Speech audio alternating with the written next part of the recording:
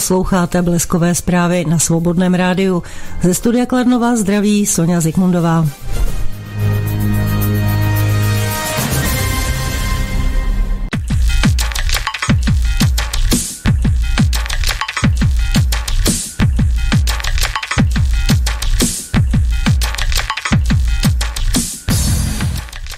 Pěkný den, vážení a milí posluchači. Dnes máme 3. září 2021. Já vás vítám u zpráv. Dnešní zprávy budou zkrácené z nedostatku času. Nicméně doufám, že se vám bude jejich obsah líbit, že bude pro vás dostatečně stravitelný.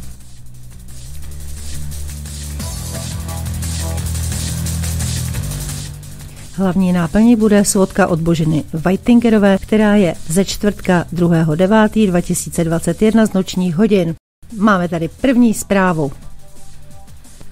Cena plynu v Evropě se vrátila k 600 dolarů za tisíc kubických metrů. Gazprom obnovil svůj rekord v dodávkách plynu do Číny plynovodem Síla Sibiře. Navalného fond pro boj s korupcí na základě soudního rozhodnutí oficiálně přestal existovat. Texasu vstoupil v platnost protipotratový zákon, který je nejpřísnější v celých Spojených státech. Irán představil svůj trojrozměrný radar schopný registrovat až 300 cílů současně. Jednání mezi Bidenem a Zelenským trvalo přes dvě hodiny, nebylo vydáno žádné tiskové prohlášení. Spolužačka vyprávěla o žákovi, který v průběhu besedy s hlavou státu opravil historickou nepřesnost v Putinově promluvě. Putin chybně označil severní válku za válku sedmiletou. Mladík je znám svou pedantností a nevýdaným zájmem o historii. Státní duma Ruské federace má v úmyslu pětinásobně zvýšit pokuty za rvačky. V poslední době se v Moskvě rozmohly hromadné rvačky za účasti pracovních migrantů. Na Dálném východě se plánuje vybudovat ekoměsto. Dálný východ by se měl stát poligonem pro klimatické projekty. Velmi pozitivní zpráva. Pracovní trh v Rusku se vrátil na předkoronavirovou úroveň roku 2019. USA nemohou nijak ovlivnit rozhodnutí na to o přijetí Ukrajiny za člena. Trvají však na tom, že tato možnost by měla být otevřená pro ty země, které plní nezbytné podmínky. Biden slíbil Zelenskému sankce proti severnímu proudu 2, ale Zelenský ho zapomněl pozvat na Ukrajinu. Proti řediteli Stankinova raketového institutu bylo zahájeno trestní řízení kvůli spronevěře 500 milionů rublů. Grigorej Zusev byl zadržen v Moskvě. Naděžda Savčenko Zelenský se vrátí z Washingtonu s ekonomickou zradou. Ukrajinská ekonomika bude podle jejich slov pokračovat v pádu. Spojené státy poprvé otevřeně požadují po Ukrajině ochranu práv LGBT. Bidenova administrativa to zařadila přímo do textu společného prohlášení. Tak konečně ho máme. Na ruském ministerstvu zdravotnictví označili situaci s koronavirem za zvládnutelnou. Počet Rusů s platem přes 100 tisíc rublů se zvýšil o 45% z 1,95 milionu osob na 2,84 setiny milionu. Takových zaměstnanců je 10,3% V Kremlu prohlásili, že oprava Putinovy chyby žákem školy v žádném případě není hodnocena jako drzost. V Rusku absolvovalo vakcinaci více než 45 milionů lidí. V dánském hlavním městě Kodani zakázali bývalým zločincům odsouzeným za násilí a použití zbraně vycházet v noci na ulici ve čtyřech pěších zónách v centru města. Šéf Rostechu prohlásil, že kvalita automobilů Lada je dnes vyšší než u automobilů Ford nebo korejských či čínských dopravních prostředků. Turecko vybuduje svůj vlastní Pentagon ve tvaru půl měsíce a hvězdy. V Německu vyhlásili železničáři pětidenní stávku v osobní dopravě. Ta je už třetí od počátku srpna. Jde o zlepšení podmínek práce. Státní departmán potvrdil dohody USA a Ukrajiny o mezistátní lince zabezpečené komunikace. Lavrov s ohledem na situaci na světové scéně by bral jedině boxery. Odpověděl tak na dotaz, co by poradil sportovcům, kteří se po skončení kariéry chtějí věnovat diplomacii. Tálibové zahájí vojenský útok na síly odporu Pančšíru. Předseda ruských komunistů Gennady Zjuganov prohlásil, že Ježíš Kristus byl prvním komunistou. Síly odporu Pančíru oznámili, že k útoku tálibů se připojily síly Al-Kaidy. Ukrajinská vláda znovu spočte ekonomické ztráty v důsledku spojení Krymu s Ruskem. USA nikdy nemohou přistoupit na rozmístění protivzdušné obrany na Ukrajině, protože by to nevyhnutelně skončilo bojem mezi ruskými a americkými vojáky s předvídatelným výsledkem. Alexej Miller zveřejnil termíny prvních dodávek plynu přes plynovod Severní proud 2. Mělo by to být ještě letos. Rozhodnými odpůrci projektu jsou Spojené státy, Ukrajina, Pobaltí a Polsko. Dmitrij Peskov varoval přes protiopatřeními v případě vstupu Ukrajiny do NATO. Vstup Ukrajiny do NATO by znamenal bezprostřední hrozbu pro Rusko, protože by se vojenská infrastruktura dále přiblížila ruským hranicím. Lavrov Ruská federace doufá, že problém Pančíru najde své rozuzlení na jednáních. Dnes se Rusko nechystá vstupovat jako prostředník do rozhovoru mezi Táliby a dalšími politickými strukturami v Afganistánu. Definitivní zákaz výroby zboží z plastu na jedno použití se v Rusku plánuje na rok 2024. EU odpověděli na otázku o vzájemném uznávání certifikátů na vakcinaci proti COVID-19 s Ruskem. Žádné rozhovory se nevedou. Rusko dostalo pouze obecné a technické informace. Elektrobusy z Kamazu se mohou podle moskevského vzoru v některých dalších městech Ruska objevit už v roce 2022. Výbor sněmovny reprezentantů USA schválil návrh obraného rozpočtu ve výši 778 miliard dolarů. Iniciativu podpořilo 57 členů výboru a jen dva byli proti. Janukovičův syn požaduje od kanceláře generálního prokurátora, aby byl proveden jeho výslech Aleksandr Janukovič podal stížnost na nečinnost prokurátorů v trestním případu, který je proti němu veden. Maria Zacharová varovala Ukrajinu před následky využívání Kijeva Washingtonem jako zbraně proti Ruské federaci.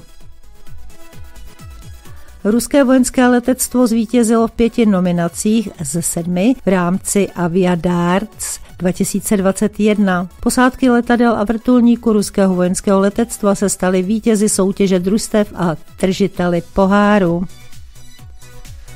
Společnost Western Union obnovila operace s peněžnými převody v Afganistánu. Snowden prohlásil, že Apple může stahovat ze zařízení uživatelů jakékoliv informace.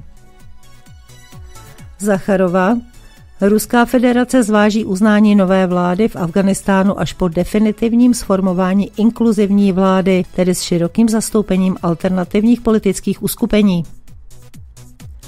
Kongresmeni USA darovali Zelenskému knihu o léčení úrazů hlavy. Jejich volba se dá vykládat dost různě. Moskva vyzvala světové společenství, aby zavedlo embargo na dodávky zbraní na Ukrajinu. Mezinárodní společenství musí vzít v úvahu fakt občanské války na Ukrajině. Bělorusko kvůli sankcím považují za nerozumné vysílat svého velvyslance do USA. Velvyslanec je vybrán, ale zatím nikam nepojede. V Leningradské oblasti byla vyloupena banka, po Lupiči se pátrá. Michail Mišustin promluvil o možné nové průmyslové revoluci a také o změnách a problémech, které s sebou přinese. Proběhnout může už během deseti či dvaceti let. Občan Německa se stal v Rusku obětí telefonických podvodníků, kteří se představili jako agenti FSB a připravili ho o 10 tisíc euro. USA mimo děk pomohli Rusku navýšit export potravin do Číny, na kterém vydělává miliardy dolarů. Informuje o tom japonský list Nikkei Asia. BMW představila svůj koncept elektromotorky o váze 120 kg, která je schopná dosáhnout rychlost 90 km v hodině a stejnou vzdálenost ujet na jedno nabití. Taliban vyčistil areál kábulského letiště po odchodu amerických vojsk od lidí, kteří tam nemají co pohledávat. Aplikaci Get Contact pro smartfony uložili v Rusku předávat informace o uživatelích policii. Proč netřeba Moldávie? Ukrajinský prezident vypustil z úst další absurdní prohlášení. Ukrajina se stane lídrem Evropy. Zelenský chce projednávat Severní proud 2 v rámci normandského formátu. V ukrajinském městě Černovci se na zasedání městské rady nadmíru rozezlená žena se složkou papíru v ruce pokusila fyzicky napadnout starostu. Aleksandr Novák informoval o perspektivách v úvozovkách zelené energie v Rusku. Kromě solárních a větrných elektráren jsou v plánu i přílivové a geotermální elektrárny. Vojenská pomoc USA Ukrajině je jako dávat cukr diabetikovi. Ukrajině to škodí, i kdybyste to v uvozovkách mysleli dobře. Ve Velké Británii pojali nejasné podezření, že USA už nejsou supervelmoc, píše o tom The Guardian. Kavkazská soukromá ochranka terorizuje obyvatele města Puškino v moskevské oblasti. Polsku civilisté umlátili opilého Ukrajince k smrti, hájili se tím, že byl agresivní. Záznamy z kamer ale nic takového nepotvrdili. Zelenský dostal zelenou od USA na porušování zákonu a jestli kromě toho bude ještě plnit pokyny USA, pak ho možná budou podporovat ve volbách pro druhé prezidentské období. Tak přece jen něco vyžebral. Státní departmán slíbil Ukrajině humanitární pomoc v New Yorku došlo k záplavám, metro je pod vodou, jsou hlášeny oběti na životech, včetně dětí. Všechno je daleko složitější novinář VGTRK a poslanec Moskevské městské rady Alexej Medvěděv vyčetl Marii Zacharovové, že svými vtípky zlehčuje situaci s návrhem na přejmenování Ukrajiny na Ukrajinu Rus. Na místo antiruského ukrajinského projektu má být vytvořen falešný v uvozovkách ruský projekt. Jde o pokračování procesu z konce 19. století, kdy základy dnešní Ukrajiny položili ve Vídni, kde tím sledovali vytvoření nárazníkového státu mezi Ruskem a Rakouskem Uherskem. Ukrajinská moc se snaží Rusku a Rusům ukrás jejich identitu. Polsko vyhlásilo na hranici s Běloruskem mimořádný stav kvůli situaci s uprchlíky. Turek Hasan Yurtseven, který se v Istanbulu pokusil zavraždit tři ruské občany, možná už nevyjde z vězení vzhledem k jeho věku. Znamená to 36 let odnětí svobody, v podstatě je to dovživotí. Minské rozhovory jsou mrtvé, prohlásil vicepremiér Ukrajiny. Čtyř až pětihodinová jednání nepřinesla žádný výsledek. Zdroj v Ruské federaci odpověděl na informace Kijeva o přípravě samitu Rusko-Ukrajina. Nedávno první vicepremiér Ukrajiny Alexej Lyubčenko prohlásil, že na nejvyšší úrovni probíhá příprava samitu. Z ukrajinské strany nepřišel dokonce ani oficiální návrh na uspořádání takového setkání, prohlásil zdroj. V ukrajinských plynových zásobnících je daleko méně plynu než před rokem. Deficit se odrazí na cenách, píší ukrajinská média. V USA mohou spustit výrobu vakcíny Sputnik V. Americké farmaceutické společnosti jednají o možnosti výroby ruské vakcíny.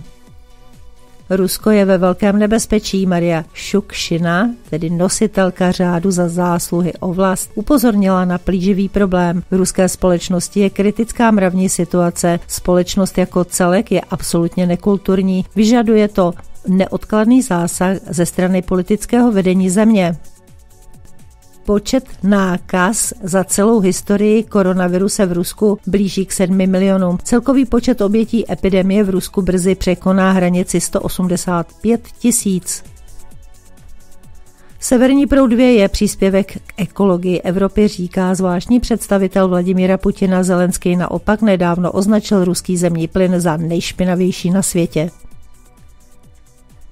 Blíží se humanitární katastrofa. Afganistánu dojdou za měsíc potraviny. Už dnes více než polovina populace ráno neví, jestli se ten den nají. Americké neúspěchy od Koreje až po Afganistán ukázaly, že vojenská hegemonie nefunguje, píší The New York Times. V Rusku nastupuje chřipka AH3N2. To není dobré znamení, varuje hlavní lékařka Ruské federace Anna Popova. Koronavirus kosí obyvatelstvo Turky ovládané provincie Idlíb v Sýrii. Zdravotnická zařízení v syrském Idlíbu pracují už za hranicemi svých možností. Západ vytváří projekt Antirusko. Rusové by už měli začít něco dělat. Západ útočí na ruskou duši, na ruskou mentalitu, aby nakonec likvidoval a zotročil v úvozovkách Ivany, kteří si nepamatují své dějiny. Vážení posluchači, to byla poslední zpráva dnešních bleskových zpráv, které čerpali ze zdroje rusnext.ru a rusvesnat.su. Ze studia Kladno se s vámi loučí Sonja Zikmundová, Martin Dukát. Přejeme vám příjemný poslech dalších pořadů. Mějte se moc fajn, užijte si víkend a brzy.